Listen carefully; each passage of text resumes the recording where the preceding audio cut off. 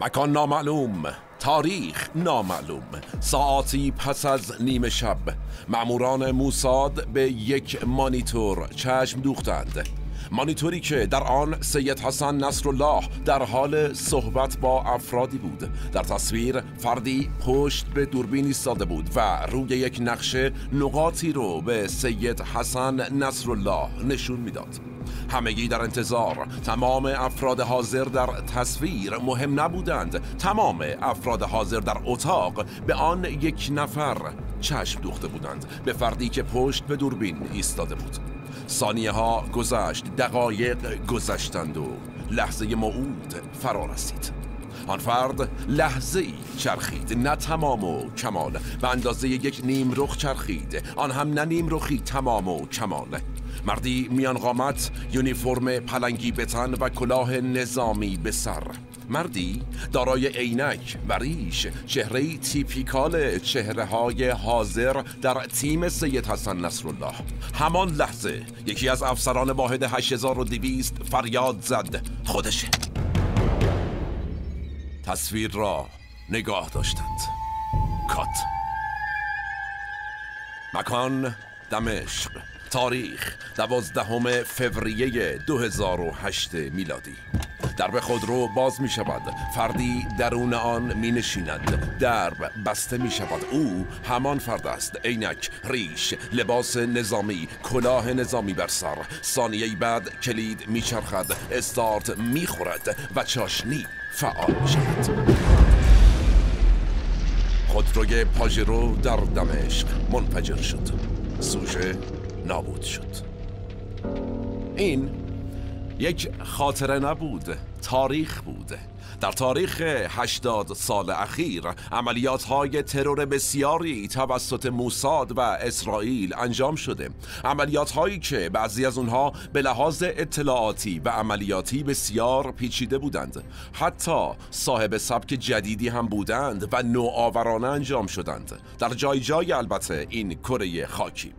دولت اسرائیل احتمالاً بیشترین سابقه رو داره در ترور هدفمند رهبران مخالف خودش کما اینکه هستند رقبایی برای اسرائیل. اما او از رقبای خود پیشی گرفته در تمام این سالها. به همین واسطه است که مخالفان دولت اسرائیل و موساد همواره سعی کردند در سایه زندگی کنند در نیمه تاریک این کره خاکی.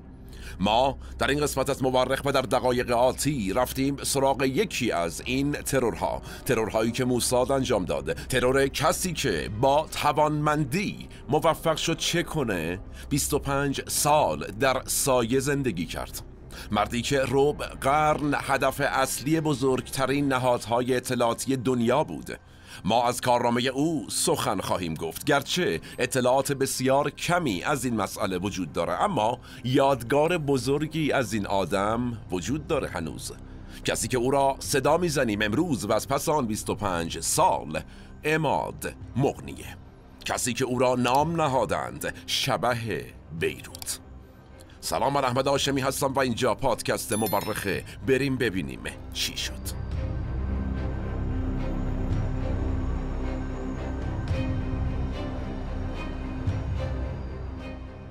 به سنت همیشگی تیم مورخ منابع این قسمت رو خدمت شما معرفی می‌کنیم. اول کتاب فرمانده در سایه نوشته وحید خذاب دوم کتاب از مقاومت تا پیروزی تاریخچه حزب الله لبنان اثر مسعود اسداللهی. و اینجا یادآوری کنم در انتهای این قسمت هم ویدیوهای ارسالی از طرف شما خوبان مخاطبان نازنین تیم مورخ رو با هم خواهیم دید. حالا بریم در دل تاریخ.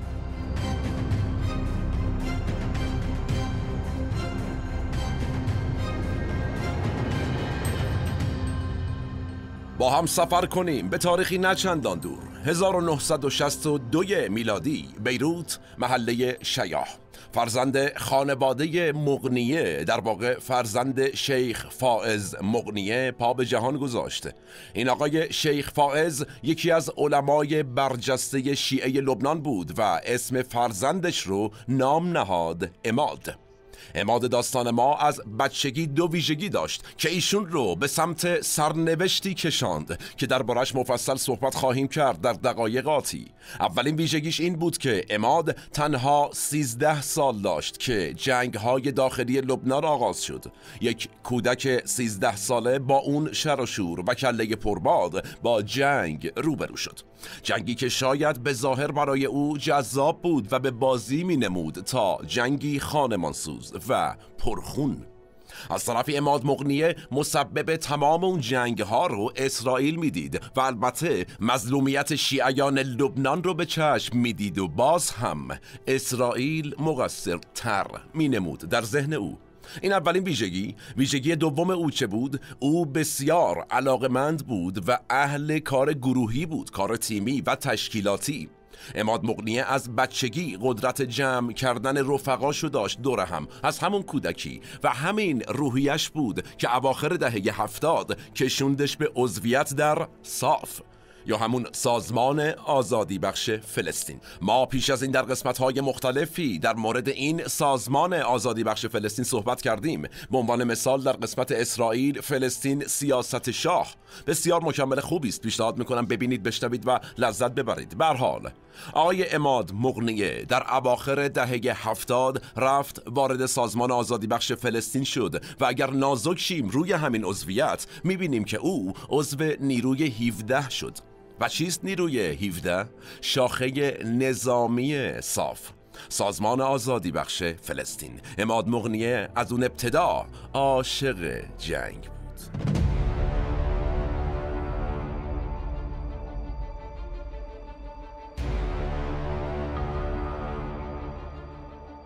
اماد تنها 15 سال داشت که عضو سازمان آزادی بخش فلسطین شد. به مرور در این سازمان پیشرفت کرد و بعد از یه مدت هم شد اصلا بادیگارد رئیس سازمان. بسیار خوب پله های ترقی رو طی کرد. که بود رئیس این سازمان آن زمان؟ شما بفرمایید. جناب یاسر عرفات. عرفات و اماد 15 ساله که کم کم سنشم رفته بود بالا به مرور انقدر رابطه گرمی با هم پیدا کردن که این آقای یاسر عرفات به اماد مغنیه می‌گفت پسرم. حالا و همین حالا نزدیکی اماد مغنیه به یاسر عرفات باعث شد خیلی چیزا در کلاس رایگان روزگار یاد بگیره. در مورد مبارزه چریک بودن و از همه مهمتر در مورد مخفیانه زندگی کردن. همزمان یه اتفاق دیگه هم در حال رخ دادن بود. 1979 میلادی زمانی که اماد 16 17 ساله بود انقلاب های کمونیستی داشت دنیا رو درو می کرد این بچه 16 17 ساله شاهد این بود که چطور انقلاب های کمونیستی داره در کشورهای مختلف همینجور پشت هم پیروز میشه. این هم بر تفکرات این آدم تاثیر گذاشت. از اون بر به واسطه خانواده پدری و اساسا شرایط و فرهنگ لبنان او روحیه مذهبی هم داشت. و حالا بیخ گوشش چه اتفاقی افتاده بود؟ حدودا بیخ گوشش. در ایران یک انقلاب مذهبی رخ داد. 1357 و اتفاقا رهبر اون انقلاب هم شیعه بوده ترکیب همه اینها با هم. مذهبی بودن علاقه به چریک بودن و مبارزه و انقلاب و یاسر عرفات و بسیار موارد دیگر باعث علاقه اماد مغنیه شد به انقلاب ایران و رهبر انقلاب ایران. این علاقه تا ثانیه های پایانی عمر مغنیه وجود داشت و هر روز بیشتر از دیروز.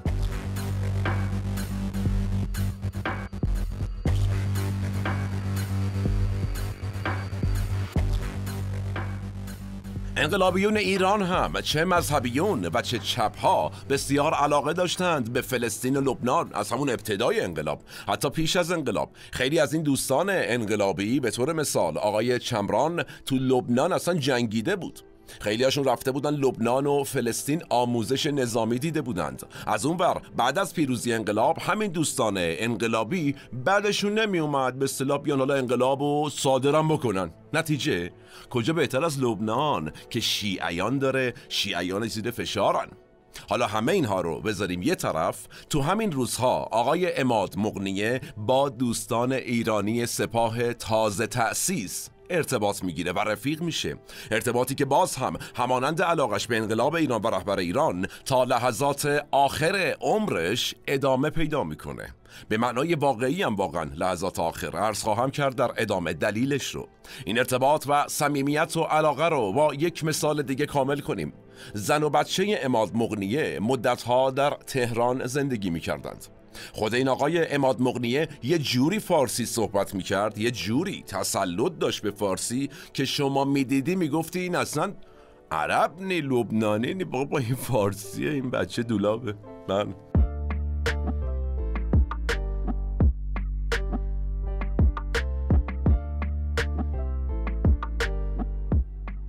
همون زمان اماد مغنیه یک گروه راه میندازه به نام سازمان جهاد اسلامی لبنان.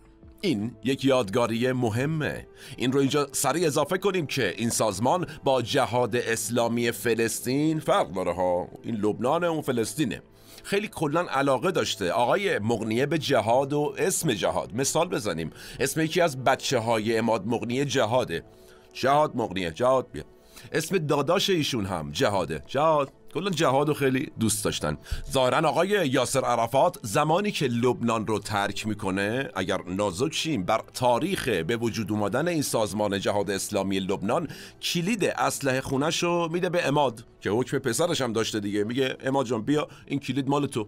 برو به سلامت.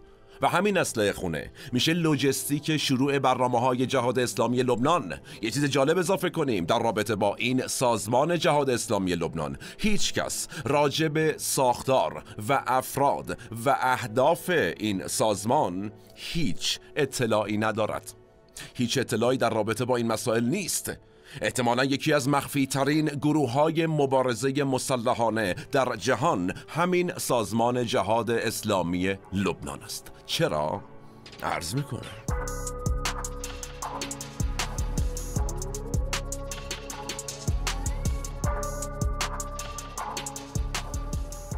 تو سالهای دهه 80 میلادی شیخ محمد حسین فضل الله رهبر معنوی شیعیان لبنان بود. آقای اماد مغنیه یه روز پا میشه میره حاجی همین آشیخ شیخ محمد حسین میگه آقا جان باید با این اسرائیلی ها و آمریکایی ها مبارزه کنیم. آقا شیخ گویا خیلی موافق کارهایی که مغنیه می‌خواست بکنه نبوده. چی میگه؟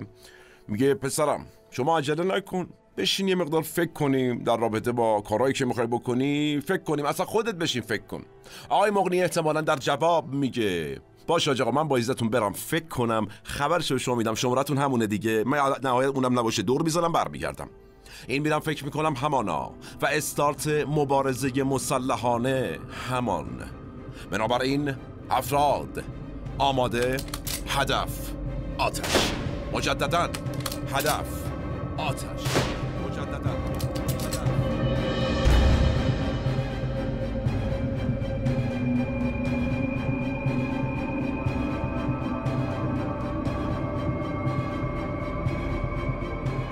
18 آوریل 1983 میلادی.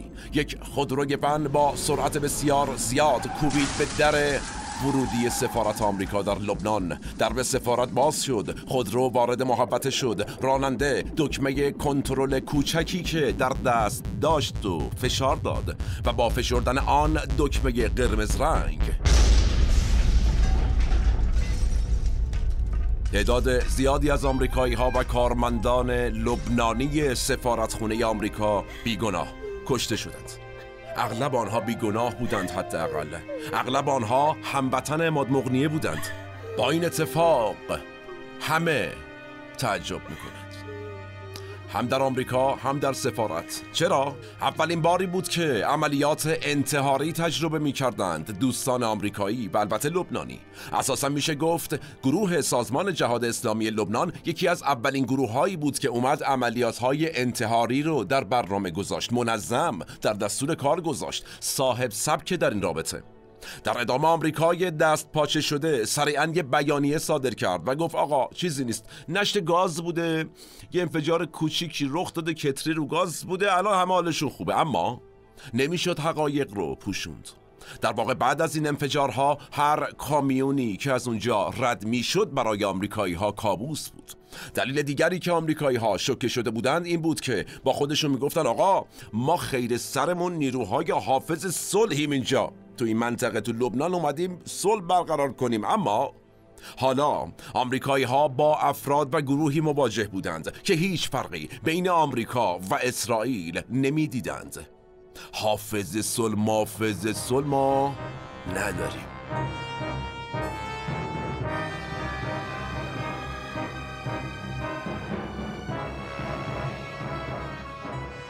زمانی که سفارت آمریکا منفجر میشه این داستانی که عرض کردم اماد مغنیه چند سالش بوده؟ 20 سالش بوده.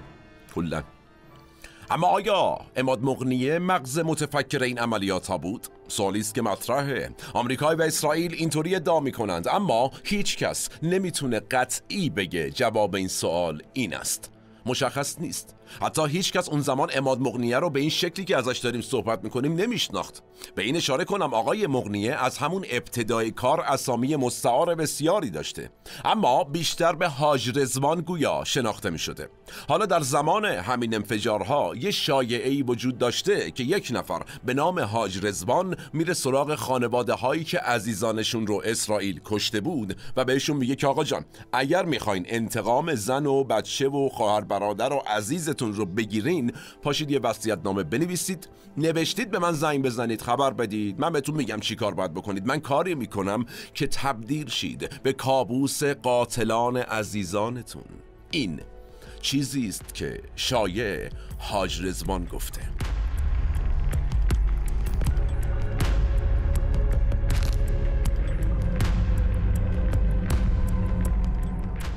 این عملیات ها خیلی مهم بوده و افراد سرشناس در اون عملیات ها کشته می شدن. مثلا تو همین عملیاتی که عرض کردم انفجار سفارت آمریکا در بیروت که 1983 میلادی اتفاق افتاد رابرت ایمز کشته میشه رابرت سی ایمز افسر عالی رتبه و کارشناس ارشد اطلاعاتی بود در آژانس اطلاعات مرکزی ایالات متحده آمریکا یا همون CIA هنوز هم. امروز که با هم صحبت می‌کنیم تو آمریکا از رابرت ایمز به عنوان یکی از مطلع ترین کارشناسان جهان عرب در تاریخ سیا یا CIA یاد میشه. در واقع بدون هدف این کشتارها انجام نشده. همه با برنامه ریزی بوده و همه با هدف کشتن افراد مهم اتفاق افتاده.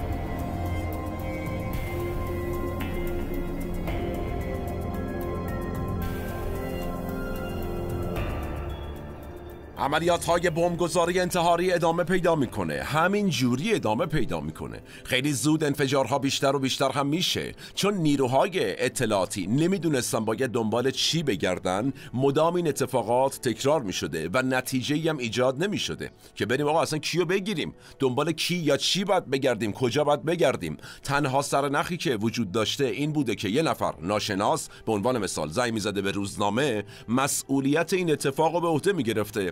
و از اونور تصاویر عوامل انتحاری رو هم به عنوان شهید بین مردم پخش می‌کرده که اینا بودن. محمد آقا، اکبر آقا، اسقر آقا اینا رفتن انتحاری. طرفم جسم می‌گرفته جلو دورین با اون دکمه قرمزه مثلا که من دارم میرم قاتلانم فلان.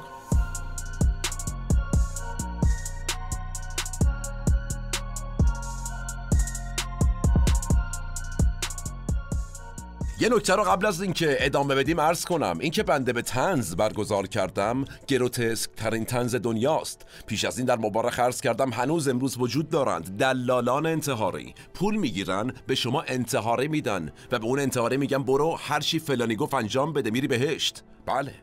اینقدر تلخه و شاید خیلی وقتا مسائل تلخ رو اگر به تنز برگزار کنیم با درد کمتری می‌تونیم ازشون صحبت کنیم و یاد کنیم و تحلیل کنیم. فکر کنیم. بر حال اون زمان یک روزنامه در توصیف این اتفاقات این گروهی که داره مسئولیت رو به عهده می‌گیره یا عکسای انتحاری ها رو منتشر می‌کنه یک جمله ای نوشت. نوشت یک گروه مرموز که هیچ چیزی از آنها شناخته شده نیست. روزنامه دیگر نوشت پلیس لبنان منابع اطلاعاتی غربی منابع دولتی اسرائیل و رهبران شیعیان لبنان. همه با هم توافق دارند که سازمانی به نام جهاد اسلامی وجود ندارد. چرا که نه عضوگیری برای آن انجام شده و نه نوشته ای از آن سازمان منتشر شده. در ادامه کسانی که این انفجارها رو برنامه ریزی می کردند انجام می دادند مسئولیت را بر عهده می گرفتند عکس های عوامل آنها را منتشر می کردند مشهور شدند به اشباه بیروت.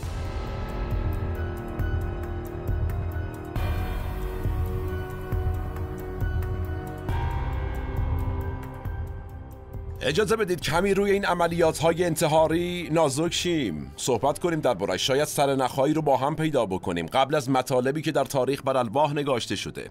شاید امروز بتونیم با خواندن اینها به راحتی بدانیم که از کجا به وجود آمده این داستان. اجازه بدید ببینیم دقیقا از چه چیزهایی داریم صحبت می‌کنیم. یه مثال بزنیم. 13 اکتبر 1983 این گروهی که معروف شدند به اشباه بیروت اون زمان حمله می‌کنند به آسایشگاه سربازان آمریکایی و فرانسوی. یعنی همزمان دو تا انفجار با دو کامیون بمبگذاری جلوی ساختمون های آسایشگاه های نیروهای چند ملیتی در بیروت اتفاق میفته 241 تفنگدار دریایی آمریکایی 58 چترباز فرانسوی کشته میشن. به همین سادگی. از 1982 تا 1986 میلادی این گروه 36 بار عملیات انتحاری انجام میده و این 36 حمله رو با 41 حمله کننده انجام میده در واقع. 41 عامل انتحاری.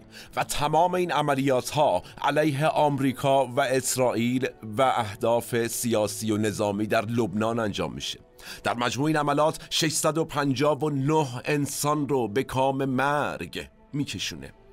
برای اسرائیل کابوسی در حال رقم خوردن بود. همگی بسیج شدند تا از این کابوس از اشباه بیروت هر طور شده بیدار شوند.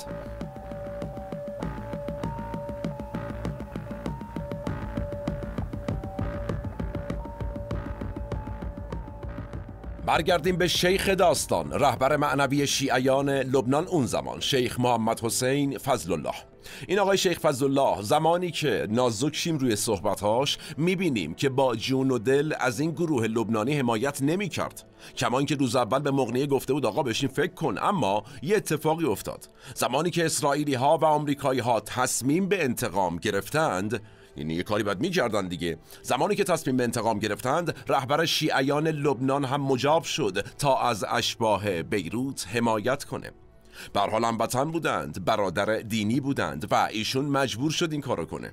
چرا و چگونش بحث دیگری است؟ واقعا. هشتم مارس 1985 میلادی حدودا دو سال بعد از اولین حمله انتحاری این گروه و زمانی که شیخ محمد حسین فضل الله داشت از یک مسجد خارج می شد یک خودروی بمب گذاری شده منفجر شد.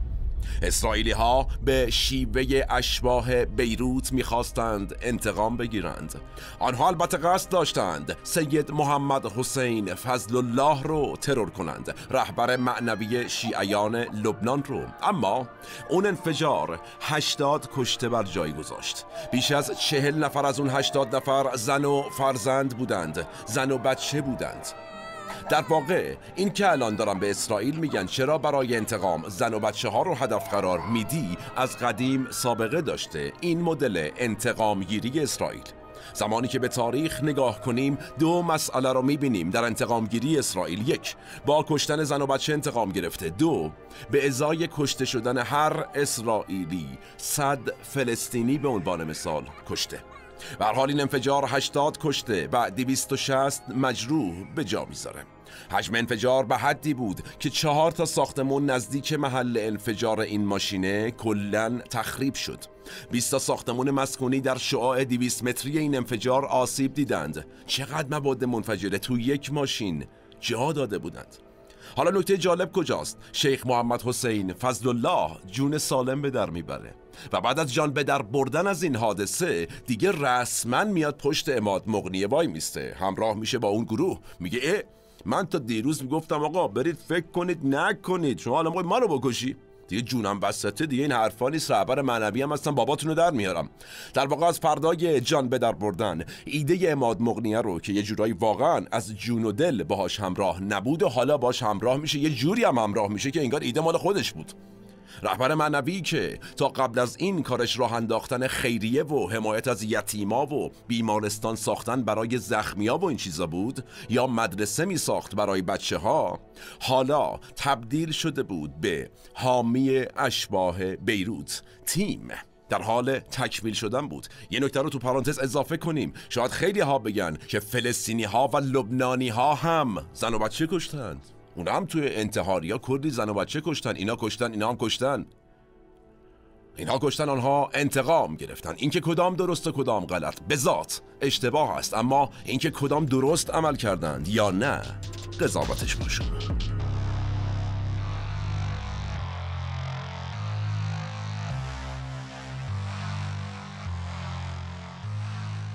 بعد از این ماجرا اماد مغنیه و گروهش مسئولیت یه سری عملیات دیگه در نقاط دیگر دنیا رو هم پذیرفتند. اولیش انفجار سفارت آمریکا در کویت بود. در جریان این انفجار مصطفی بدردین بازداشت میشه. که بود این مصطفی بدردین برادر همسر و همزمان پسرموی اماد مغنیه. از اونور طرفداران اماد مغنیه قاطی می‌کنن و برای آزاد کردن مصطفی چه می‌کنن؟ چند نفر از آمریکایی ها رو گروگان می‌گیرن. به طور مثال رئیس دانشگاه آمریکایی بیروت یا رئیس سیا در بیروت رو گروگان می‌گیرن. در ادامه چه اتفاقی میفته اون رئیس دانشگاه آمریکایی بیروت منتقل میشه ایران و نهایتا آزاد میشه اما رئیس سیا در بیروت زیر شکنجه کشته میشه. این وسط اخبار ضد و نقیزی هم وجود دارد. لبنانیا میگن در لبنان کشته شد. بعضی میگن در ایران کشته شد. اینکه کجا بود؟ قضاوتش با شما. اما نتیجه تمام این بالا و پایین ها آزادی برادر زن مغنیه نبود. کویت حاضر به آزاد کردن مصطفی بدردین نشد. گرچه این آقا آقا مصطفی چند سال بعد زمانی که عراق به کویت حمله کرد آزاد شد و تبدیل شد به یکی از فرماندهان ارشد حزب الله لبنان.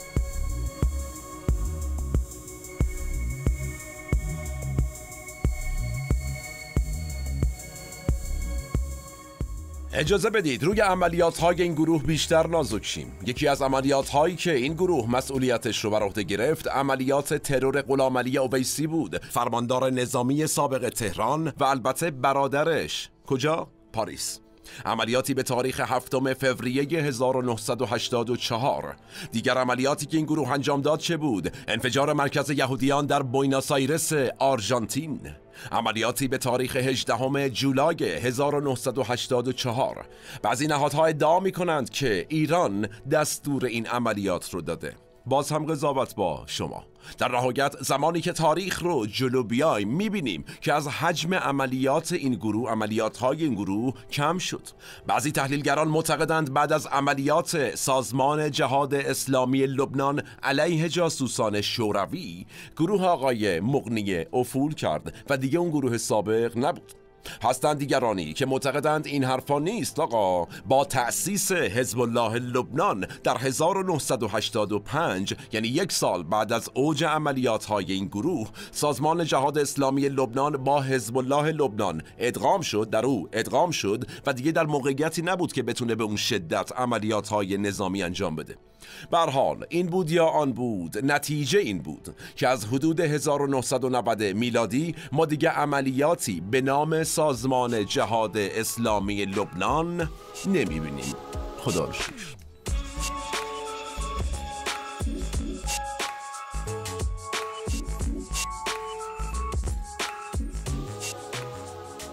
اماد مغنیه یک یادگاری گذاشت. یک یادگاری برای مردم لبنان و البته برای مردم جهان. این یادگاری چه بود؟ گروه حزب الله لبنان که امروز تقریبا همه ما اسم این گروه رو شنیدیم.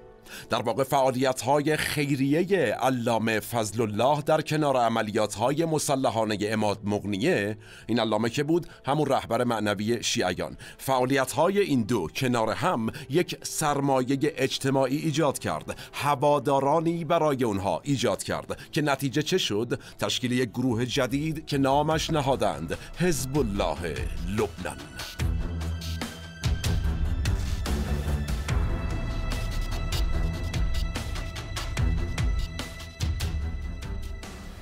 روی این گروه کمی نازک شیم. گروهی است حزب الله لبنان که از دید بسیاری از کشورهای دنیا یک گروه تروریستی است. رئیس گروه کیست؟ در حال حاضر سید حسن نصرالله.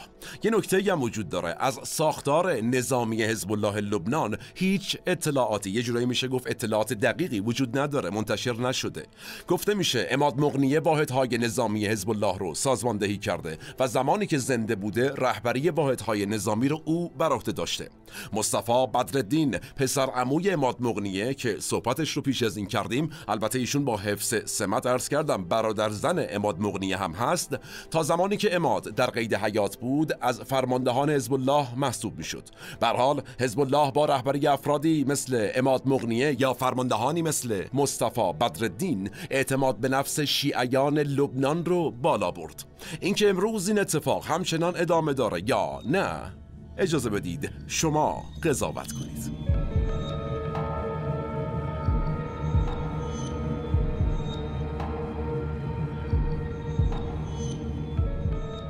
برگردیم به داستان اماد. تا زمانی که اماد مغنیه کشته شد هیچ تصویری از او وجود نداشت. گفتیم 25 سال در سایه زندگی کرد.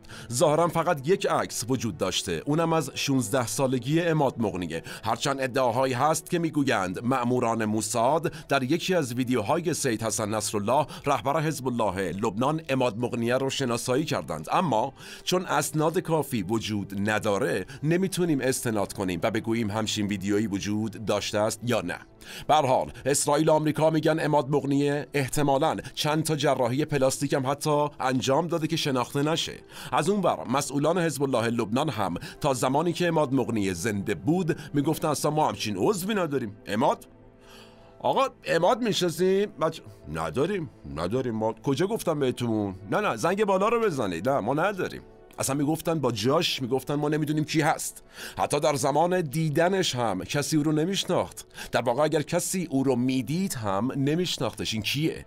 این موضوع باعث شده بود اماد مغنیه به صورت یک فرد عادی و ساده حتی بدون ناظر و محافظ به فعالیتاش ادامه بده زندگی کنه. کلا محافظ نداشت چون کسی نبود انگار. رهبر نظامی حزب الله هیچ محافظی نداشت. کسی نمی‌دونست کیه چه شکلیه. به حال داریم از زمانی صحبت می‌کنیم که هنوز 11 سپتامبر هم اتفاق نیفتاده. مسائل امنیتی تغییر و تحول اساسی درش ایجاد نشده. اون زمان نفر اول لیست تحت تعقیب سازمان سیای آمریکا اماد مغنیه بود. آمریکایی ها اماد مغنیه را اولین نفر می‌دونستند. در فهرست تروریست ها از نظر خودشون. 25 میلیون دلار جایزه می‌دادند. اگر کسی درباره او کوچکترین اطلاعاتی بدهد. عدد خوبی بوده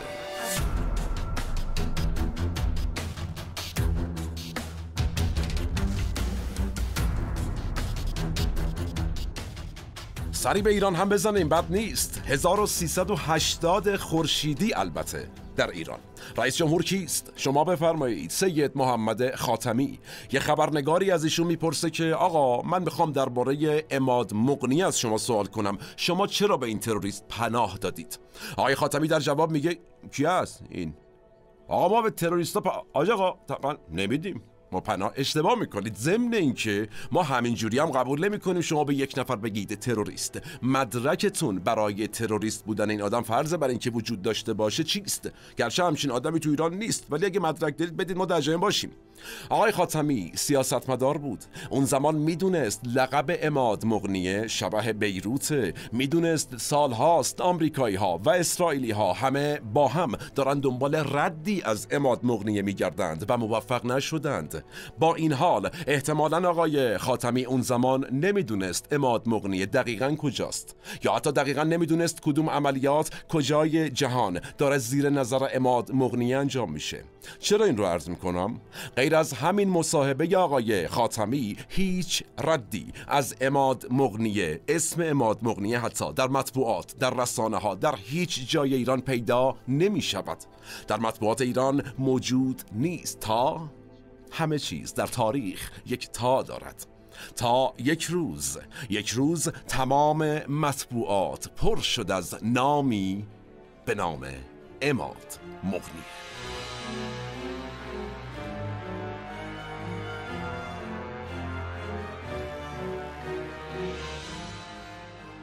اجازه بدید پیش از اینکه بریم سراغ اون روز روزی که تیتر رسانه های ایران پر شد از اسم اماد مغنیه و یهو ایرانی ها با این آدم و چهرش آشنا شدند بریم سراغ یکی از مهمترین بره های زندگی خود اماد مغنیه. از چه زمانی صحبت می‌کنیم؟ 2006 میلادی. جنگی بین اسرائیل و لبنان رخ داد. توی ایران این جنگ مشهور شده به اسم جنگ 33 روزه.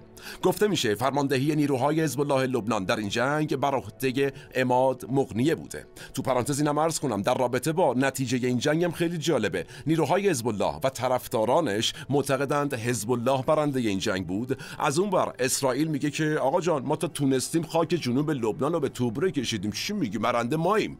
بر حال نتیجه این جنگ نتیجه این برهه زندگی اماد مغنی چه شد؟ تلفات قابل توجه اسرائیلی ها در واقع حزب الله لبنان و اماد مغنیه این تلفات زیاد رو کشته شدن اسرائیلی های بسیاری رو یک پیروزی بزرگ برای خود می‌دانستند. شاید از این جهت می‌گفتند ما پیروز شدیم. می‌گفتند شیعیان لبنان پیروز شدند. اماد مغنی اون روزها پیروز میدان می‌دونست. خودش رو. از پس کشتار و خون.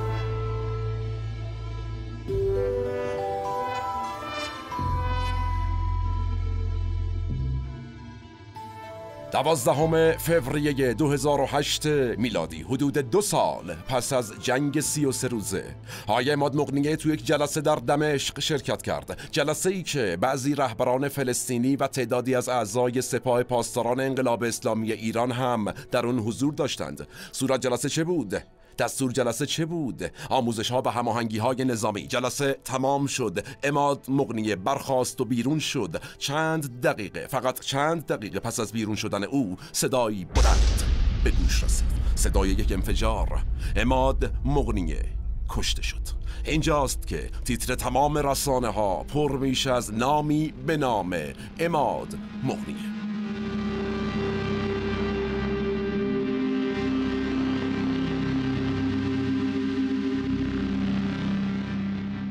نیروهای آمریکایی و اسرائیلی در ابتدا نقش داشتن در این ترور را تکذیب کردند. احتمالا میترسیدند از واکنش های احتمالی. بعد از این حادثه بسیاری در ایران و لبنان و سوریه این اتفاق رو تسلیت گفتند و مشخص شد که واقعا اماد مغنیه آدم بسیار مهمی بوده. مراسم تشییع اماد مغنیه 15 فوریه 2008 میلادی در زاهیه برگزار شد. تو مراسم جمعیت زیادی از نقاط مختلف لبنان گرد گرد هم آمده بودند. منوشهر متکی وزیر وقت امور خارجه جمهوری اسلامی ایران هم در این مراسم حضور داشت و پیام های تسلیت مقامات ایرانی رو قرائت کرد. بعد از این ترور کم کم تصاویر اماد مغنی حالا منتشر شد و بسیاری متوجه شدن که من این چیز ما دیدم اینو این اونجا بود اسامی مختلف و چهره های مختلف. اماد مغنیه رو دیده بودند. همه جا بدون اینکه بدانند دارند چه کسی را می‌بینند. با چه سبقی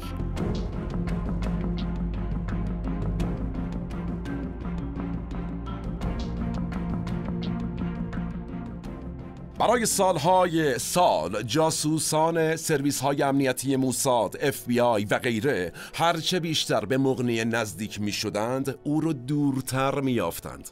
قاسم سلیمانی فرمانده سپاه قدس روایتی دارد که می‌گوید حاج رزوان مثل شمشیر فرود می آمد و مثل شبه ناپدید می شد اماد مغنیه رابطه بسیار نزدیکی با سردار سلیمانی داشت. مثال بزنیم. زمان دیدار سردار قاسم سلیمانی فرمانده سپاه قدس با محمد ناصیف معاون رئیس جمهور فقید سوریه آقای اماد مغنیه در هیئت ایرانی حضور داشت. بدون اینکه کسی ایشان را بشناسد نشسته بود اونجا.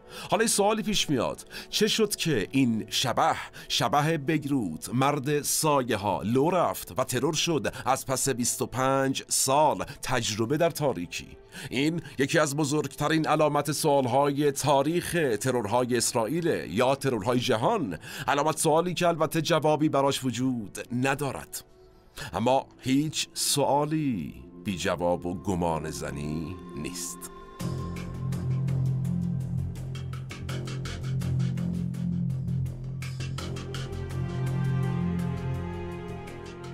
چه شد که مرد سایه ها لو رفت؟ گفتیم کسی دقیقا اطلاع ندارد اما آمریکا یه سریالی ساخته به نام شبح بیروت که احتمالا یه سرنخهایی رو میشه از تو اون پیدا کرد. تو این سریال یه ادعاهایی مطرح میشه درباره فردی به نام علیرضا عسگری این علیرضا عسگری توی این سریال کسی است که اولین بار با عماد مغنیه جوان دیدار می‌کنه و دعوتش می‌کنه با نیروهای ایرانی همکاری کنه و بعد در انتهای سریال همین آقای اسکری یه اختلاسی می‌کنه و از ایران فرار می‌کنه. چه می‌کنه؟ پناهنده میشه به آمریکا.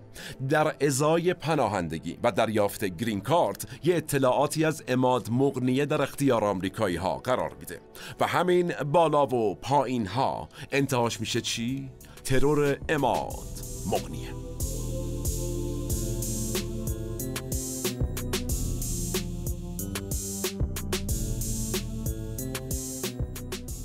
یک سوال دیگه مطرح کنیم. علی رضا عسگری که بود؟ او در سپاه به حاج رضا معروف بود. در واقعیت که بود؟ علی رضا عسگری از فرماندهان ارشد سپاه در کردستان او آدم تأثیر گذاری بود در کردستان جنگیده بود. یه روز بهشون دستور میدن که آقا پاشو برو لبنان و ایشون هم میگه چشم میره لبنان برای کمک به نیروهای نظامی شیعه در اون کشور.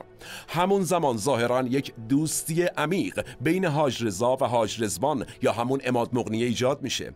دو کار مهم در لبنان با هم انجام میدن که اون کارها با ابتکار نیروهای ایرانی انجام میشه. یکیش برقراری صلح بوده بین حزب الله و جنبش عمل که یک اختلافاتی بینشون پیش اومده بوده و اینجا صلح برقرار میشه با پادر میانی نیروهای ایرانی. تو پرانتز یادآوری کنم جنبش عمل یه تشکیلات شیعه بود در لبنان که به نوعی آقای سید موسی صدر پایگذاری کرده بود. این یکی. کار دوم حاج رضا تبدیل حزب الله به یک حزب کامل بود. با تمام ارکان نظامی اطلاعاتی فرهنگی سیاسی و غیره کار بزرگی بود. اینه که آقای حاج رضا تأثیراتش رو در لبنان می‌ذاره رفاقتش هم می‌کنه و برمیگرده ایران میشه سرتیپ سپاه و حتی اوایل دهه 80 در دوران سید محمد خاتمی ایشون معاون وزیر دفاع بود در زمان وزارت علی شمخانی.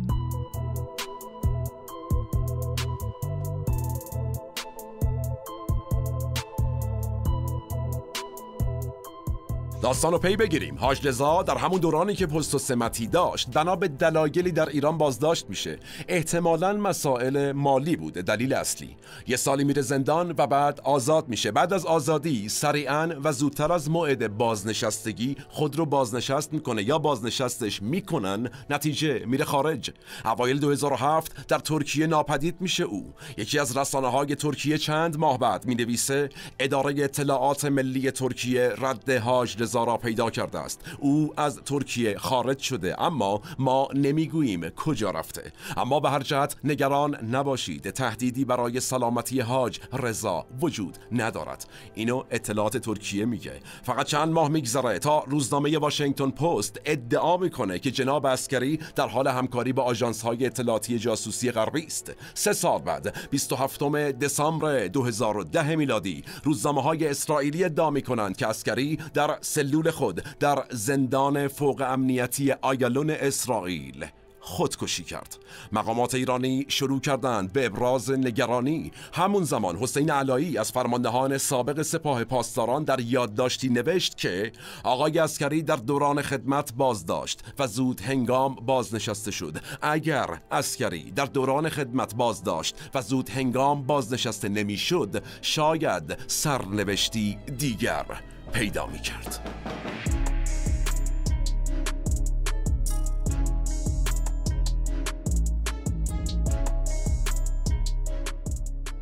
احتمالا اسماعیل احمدی مقدم رو همگی خوب می‌شناسیم. مدتی فرمانده نیروی انتظامی ایران بوده. این آقای احمدی مقدم مثل حاج رضا یا همون علی رضا اسکری جزو سپاهیانی بود که دهه 60 در لبنان بود. تایمی. ایشون معتقد حاج رضا پناهنده نشده ربوده شده این حرفا نیست اصلا. تو یک مصاحبه ای ایشون گفته زمان بازداشت عسگری پیش آقای ناطق نوری در بازرسی ویژه رهبری رفتم. در آن زمان حدود پانزده ماه از بازداشت علی رضا میگذشت و من گفتم انصاف نیست. او این مدت در بازداشت باشد چون قرار مجرمیتی صادر نشده بود. آقای ناطق نوری هم گفت این همه آدم خیانت کردند و راست راست میگردند. حالا این حاج رضا که هزاران خدمت هم کرده اگر فرزن خطایی هم کرده باشد نباید خدماتش نادیده گرفته شود. آقای احمدی مقدم در ادامه صحبتاش میگه انصافا آقای ناطق نوری و شمخانی و دیگر دوستان پیگیر ماجرا بودند و بعدا هم شاهد بودیم که هیچ کدام از اتهامات حاج رضا اثبات نشد. این هم نقل قولی بود از آقای احمدی مقدم.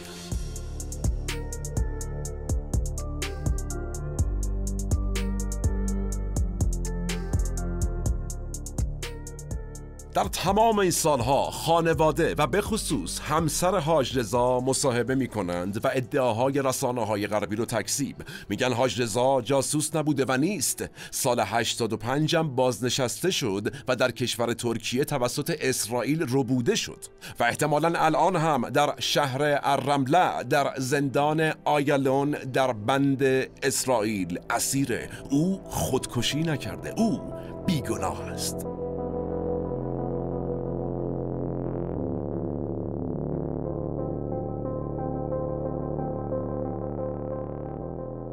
البته یه روایت دیگه هم هست از لو رفتن حاج رزوان یا اماد مغنیه به این هم اشاره کنیم. فردی به نام دقدوق. یکی از افرادی بوده که ظاهرا ارتباط خوبی داشته با اماد مغنیه و چند ماه قبل از عملیات ترور به صورت اتفاقی در عراق توسط نیروهای آمریکایی بازداشت میشه. در واقع او بوده که تصاویر اولیه اماد مغنیه رو در اختیار نهادهای اطلاعاتی آمریکا و بعد اسرائیل قرار داده. همون اوایل هم ادعاهایی مطرح شد که راننده اماد مغنیه با اسرائیلی ها همکاری کرده تا او رو ترور کنند. حال اینکه کدام ادعا درست است و کدام غلط کدام داستان واقعی است و کدام نه قضاوتش با شما.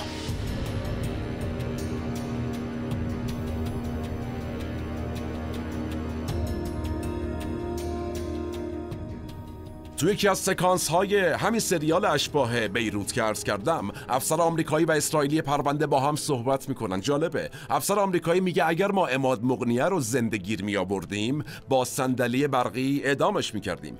اسرائیلیه میگه ما محکومش می‌کردیم به حبس ابد. آمریکایی میگه یعنی شما انسان دوستتر از ما هستید. اسرائیلی میگه نه. ما ریاکارتر از شماییم. به همین خاطرم دنبال زنده گرفتنش نبودیم از اول. اسرائیلی ها خیلی ها رو ترور کردن در تاریخشون. از جمله احتمالا بعضی دانشمندان هسته ایران رو. اما قطعا ترور اماد مغنیه یکی از پیچیده ترین عملیات های تاریخ جاسوسی دنیا بود. عملیاتی به طول 25 سال.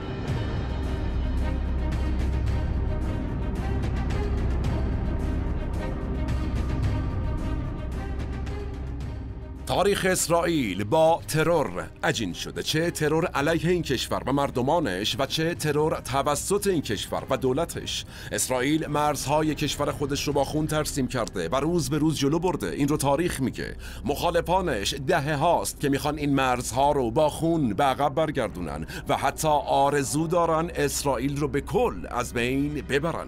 طی این بیش از هفتاد سال ما نه اسرائیل از بین رفته و نه فلسطین و شیعیان لبنان. و تمام مخالفان اسرائیل. نبرد بین این دو نیرو اما یک دستاورد برای دنیا داشته. دستاوردی شوم. پیشرفت روزافزون عملیات های ترور، خونریزی، پیچیده تر شدن فرایندهای اطلاعاتی و عملیاتی مربوط به ترورها. هیچ کس پایانی بر خونریزی توسط انسان متصور نیست. و تاریخ بهترین معلم هاست. زمان ما به فرجام رسید و کلام ما. من احمد آشمی هستم و تنها نیستم. این اپیزود هم به همت تیم مورخ در استودیو پیکان تهیه و تولید شد. ضمن اینکه در ادامه با هم خواهیم دید با افتخار ویدیوهای ارسالی از طرف شما خوبان رو تا چند روزاتی و موضوع جذاب بعدی در پادکست مورخ. سالم باشید و در صلح شما رو به تاریخ میسپرم و به شرط بقا میبینمت میبینمت میبینمت از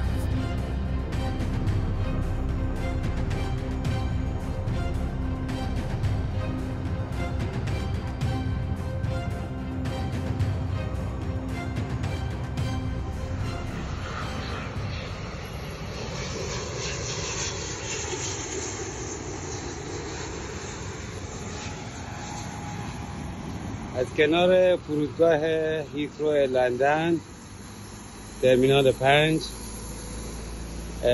به شما سلام می‌کنم آقای هاشمی و گروه خستگی ناپذیرتون. امیدوارم موفق باشین. همیشه شنونده دائمی برنامه های شما هستیم و از برنامه هاتون بهره می‌گیریم و استفاده می‌کنیم. خیلی ممنون از همه زحمت هایی که می‌کشیم سلام خدمت دستن عزیز پادکست مورخ و جناب احمد هاشمی. بنده در حال تماشای اپیزود بنیتو موسولینی از پادکست خوبتون هستم و واقعا خوشحال و مفتخرم که تونستم با پادکست خوبی مثل پادکست شما آشنا بشم و قبلتر داخل کامنت ها هم عرض کردم کاری که انجام می‌دید از نظر بنده بسیار مقدس هست و هیچ چیزی مقدستر از در واقع انتقال اطلاعات و آگاه کردن مردم یک جامعه نمی‌تونه باشه و آگاه کردن یک مردم بوده که همیشه ناجی کشور و بانی ترقی مردم اون کشور شده.